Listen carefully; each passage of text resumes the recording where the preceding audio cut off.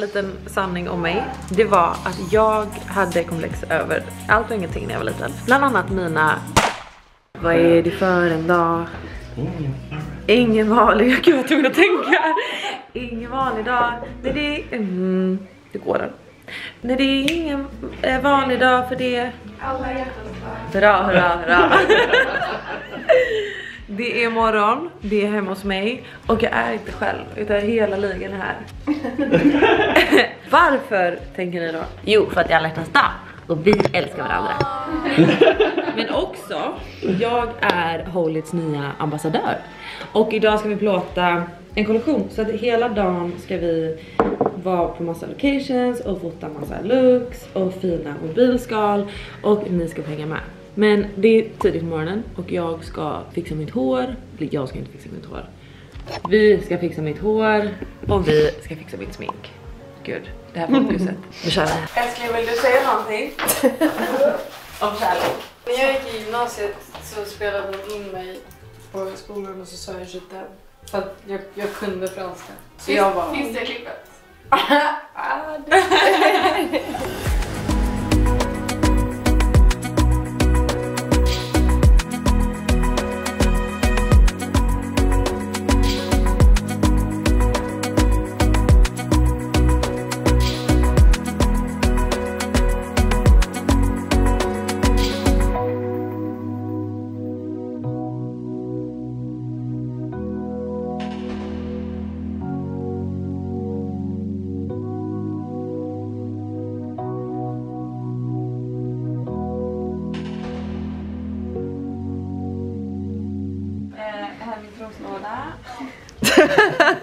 Fint, bra.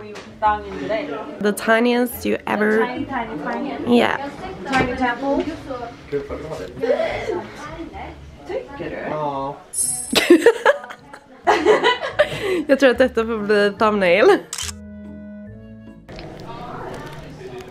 Mhm, mhm. Du, du, du, du. Fin huden är! Jag gör så här. Tänker du nu? Ja. Okej, vänta. Lovar du? Ja! En ryggsäck. Nej, den är ute. Jag dör. Vet när man ska göra såhär eh, badknepet eller vad heter bikini? Just det. Och så är allt fel, fattar. Det är hemskt. Så, It's all safe. It's all safe. Okej, så. Nu ska vi köra första looken och då ska det vara en get ready with me for the day. Så det här är liksom så, så jag ska se ut. Med en liten rope. Det är verkligen fullt hus här, som jag ser. Så mysigt. Nu kör vi.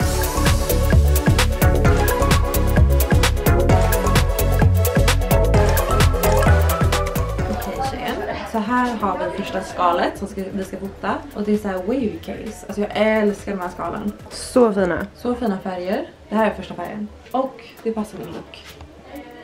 Och i och med att det är alla hjärtans dag idag så ska vi få fem sanningar från självaste Alice Stena! Okej, under den här dagen så ska jag också avslöja fem stycken sanningar som ni kanske inte vet. Första sanningen då är, och det här, jag vet inte varför, alltså fler har reagerat på det här än vad jag trodde man skulle reagera.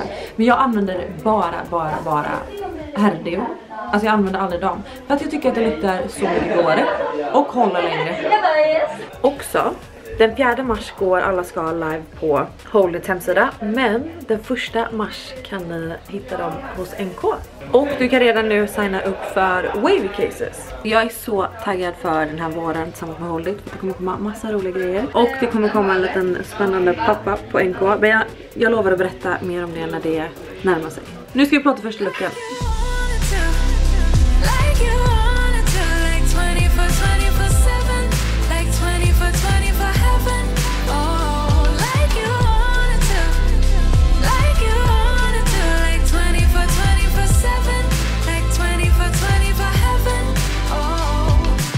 Första looken är avklarad. Och nu ska vi prata en eh, Alice chillar hemma mys look. Det är liksom ett par kalsippisar, en typisk Alice crop top och en liten skjorta över. Den här ska inte vara high waist. Men en annan sanning om mig är att jag och Amanda bakom kameran har bestämt oss för att börja spela fotboll igen. Och det, alltså jag trodde aldrig att den här dagen skulle komma för att jag har ju alltså dragit av båda mina korsband, alltså ett i högerknät och ett i vänsterknät. Och så lite menisk och ledband, ja. Lite så, så jag trodde aldrig att jag någonsin skulle våga spela fotboll igen. Men vi har signat upp i division 3, typ Vasa. Jag vet inte, det är Amanda som släpper med mig på det här. Och jag är livrädd. Men jag ska börja spela fotboll igen. För att jag också pratar om hur viktigt det är att, eh, alltså medan man gör allt som är karriär och whatever, viktigt att ta fram barnet i sig. Och jag är aldrig så lycklig som när jag spelar fotboll. Okej. Look number two.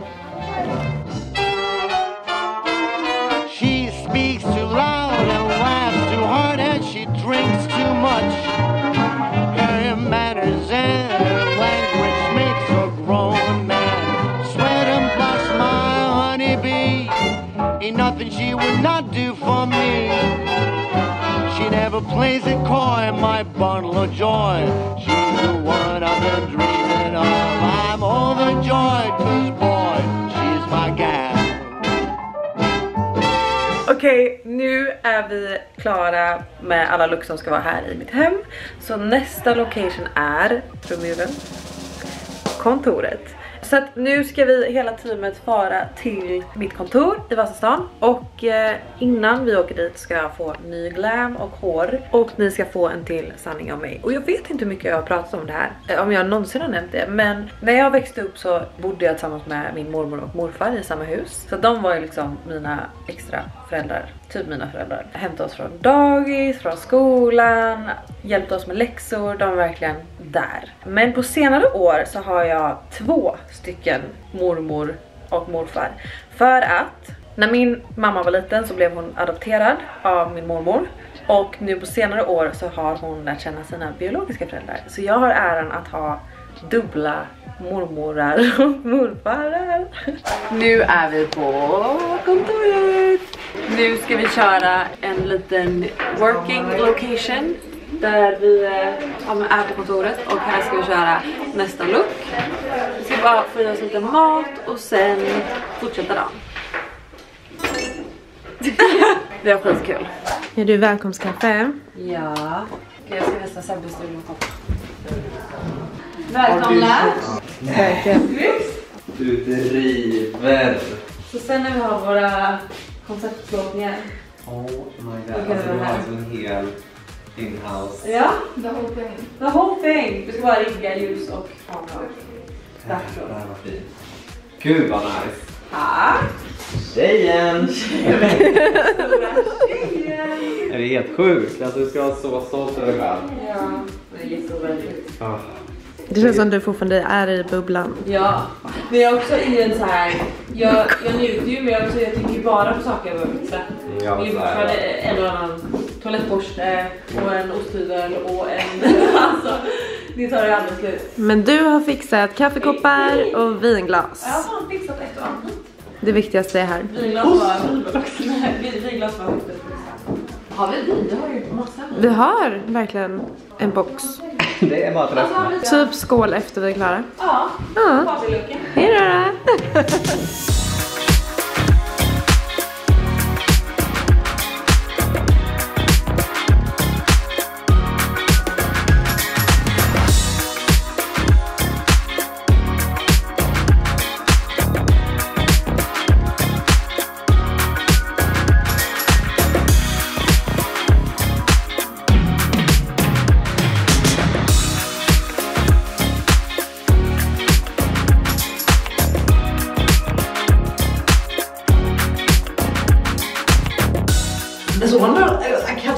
This other girl, she's just crazy.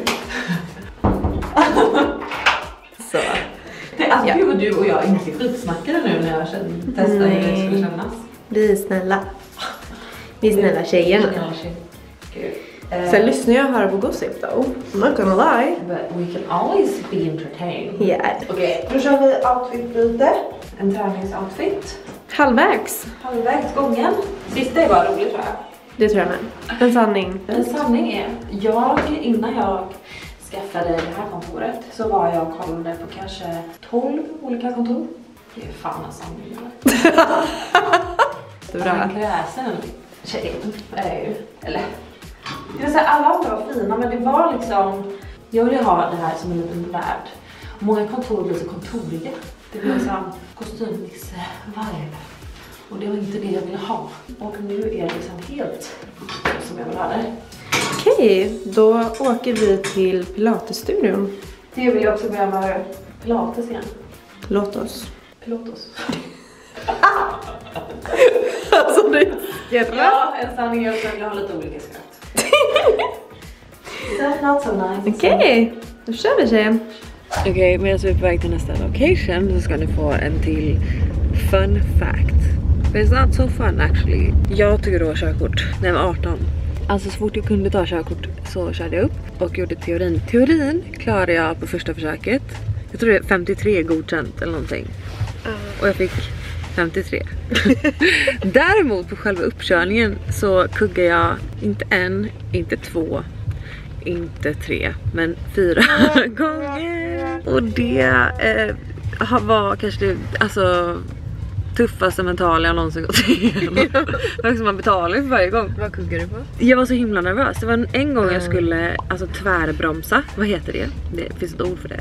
Jag var på en landsväg och så skulle jag liksom Alltså plattan i mattan. Där. Men jag hade aldrig gjort det när jag övningskörde. Nej. Så jag var jättemesig. Så det fick jag en kuggning för. Ja, fattar. Eh, och sen var det en att jag typ tvekade i en rondell. Alltså, allt jag kuggade på var bara för att jag var så jävla mesig och rädd och nervös. Så hade jag haft lite ball så hade jag säkert, säkert löst det första. Men till er som kör upp och misslyckas. Look at me now. I baksätet. Try again. Never give up. Never give up. Värt att tillägga är också att när jag väl, alltså efter jag kuggade så många gånger så fanns det ingen tid kvar till att köra upp utan jag var fullt i hela Göteborg. Så jag fick åka till Borås och köra upp där de har en rondell. alltså, de har en väg och en rondell typ. Och när jag väl fick godkänt på min uppkörning så var jag så nervös så att mina knän skakade så mycket. Och jag, höll- jag har ju liksom en, ett manuellt körkort. Så när jag skulle släppa på kopplingen och parkera så var jag så nära på att köra in en tegelvägg. För jag var så nervös och så taggad och så glad för att jag då hade fått godkänt. Så det hade antagligen gjort att jag inte fick godkänt. Vad gjorde du första, alltså första rundan efter din, din körkort du tog bilen vad var din första så här? för jag drog till Donken. Jag gjorde också det! Ja! Alltså verkligen, vad är det för barn, barndomsdröm? Typ? Jag vill alltid nervös. jag kommer ihåg när jag skulle köra ut på motorvägen, jag var alltså, skitnervös. Ja. Så jag höjde bara volymen på musiken bara för att jag skulle ha Oj, jag sänker. Jag sänker, jag Tyvärr, ska som se och höra. Nej gud vad nervös. Ja. Det är fortfarande nervös.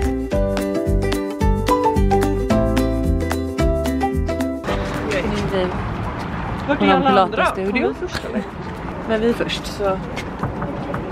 Är vi verkligen det? De åkte ju mycket tidigare än oss. Ska du verkligen? Ja. Men är det här vi ska vara? Ja. Ja. Vill du ha en kram? är långa varm dagar. så varm. Shaking up baby, shake it baby Twist and shout, twist and shout come on, baby now Come on baby, come on, come on,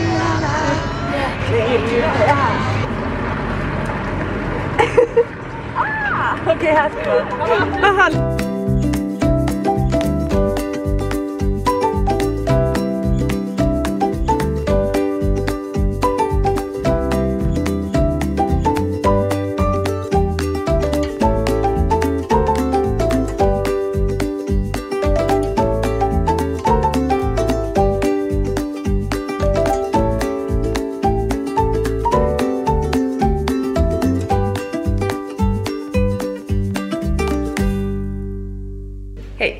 har en sista look. Så jag ska ut i minusgrader och fota en liten, liten, liten, liten klänning. Men eh, gud, jag fick se en skräck. För alla kollar. Okej, men en sista liten sanning om mig. Jag kan ha nämnt det här, men det var att jag hade komplex över allt och ingenting när jag var liten. Bland annat mina fransar, alltså mina fransar på underraden. Så när jag var liten så klippte jag alltid mina fransar. Alltså jag klippte alltid mina underfransar. Jag tror att någon sa någon gång, gud vad långa underfransar du har och jag bara nej. Då klippte jag dem normalt. Och här har vi då en liten, en liten, en liten klänning.